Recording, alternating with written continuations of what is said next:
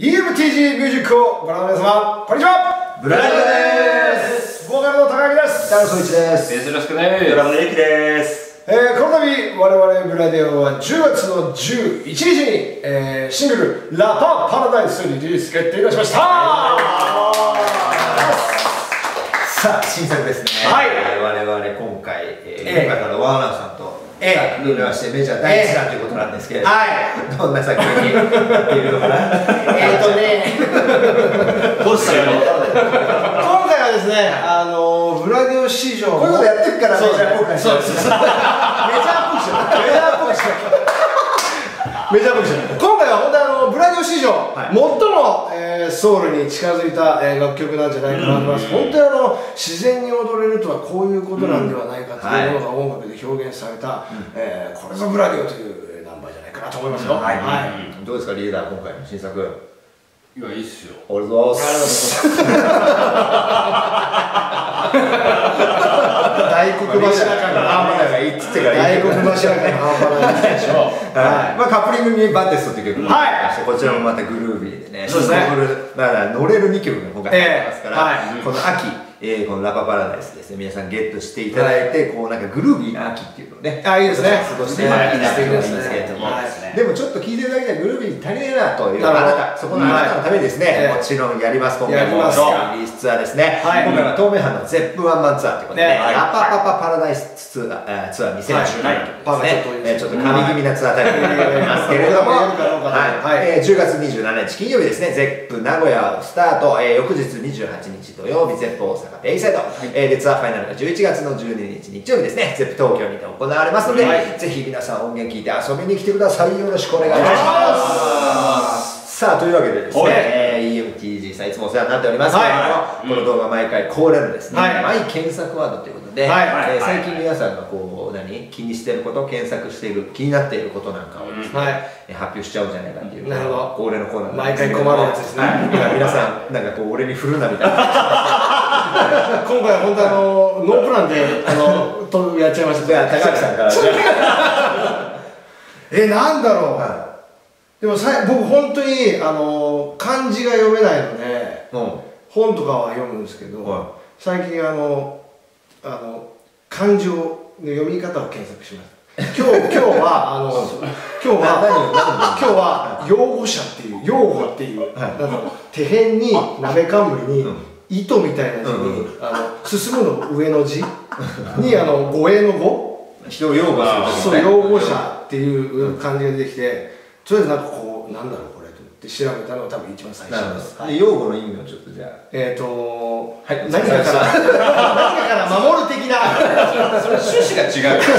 それを検索漢字を検索しました辞書漢字を検索しました、は なるほどね、はい。じゃあまあお勉強していただいて。してました。はい。はい、素晴らしい歌詞を、はい。僕の歌詞は基本漢字少ないです。で 子供に優しい、ええ子供に優しい歌詞です。大丈夫ですかね僕が読めないので。まあ大丈夫で大しょう。リーダーは何か最近。僕はですねもっぱら最近あのヴィンテージというですねはあのワードを検索してるんですけど。えヴィンテージっていうワードを検索する。ワードですね。ワードっていうか、まあ、例えばあのベースヴィンテージ。あー。アンプヴィンテージ。っていうはい。機機材なんですけど、うん。はすげえ探してるんですよ、うん。なかなか出てこないんですけど。狙ってるやつがで狙ってるやつはい。はい。あのまあ本当に巡り巡ってくるものなんですけど、はいただ本当にいいやつ出た時は瞬殺で買われちゃうんで、うんはい。あの常に今チェックしてあます。なるほどね。あじゃあ全世界で戦ってるわけです戦ってますね。ヴィンテージの取り合いをしてるわけですね。そうです。ただちょっと海外のサイトもちょっと見始めて、はい。えあのちょっとやべえなと思い始めて。なるほど。え危ないですね。高額、いやそうなんですよ。高額のね、ドンときちゃう。まあじゃいやでも海外の方が安いんだねやっぱり。あ、あなるほどね。ただちょっとあのシステムがよくわかんないから、えあじゃあ検索していただいて。そうですね。読み方を。私が、私が読みね調べてええ読み方調べ調べましょう。はい。はまさに用語ですい。ね。用語です。これぞ用語。めっちゃ心配だゆうきさんはどうですか？そうです。僕最近はあのレンタルバイクっていうのを調べてます。レンタルバイ僕あのこう見えてあの大きいバイクの免許持ってて。ク。は似合わないです似合わないっすよね。アメリカンとか超似合わないっすよね。ね。最悪です。スーパーカブ乗っててほしいです 基本的にスーパーカブ乗っててほしいですね。バイクっていうのはまあチャリだね。ママの方でしょそれ、うん。それで買うとやっぱちょっと、まあ、お金も高いんで、うんこの1日も1万円ぐらいであのビッグスクーターとか借りれるんですよ。ちょっとやりたいなと思って。どこに走りに行きたいんですか？いやー湘南ですかね兵庫いや